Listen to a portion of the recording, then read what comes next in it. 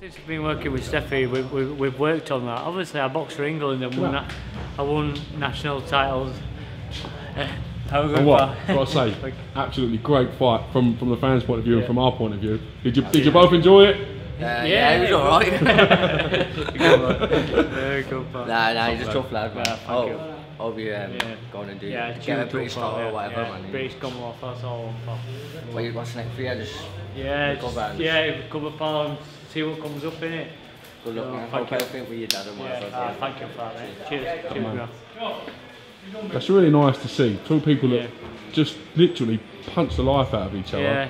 Then to see that sort of embrace and that that moment Cheers, after, it's really nice to see. It Yeah, yeah. nice. I mean, there's a.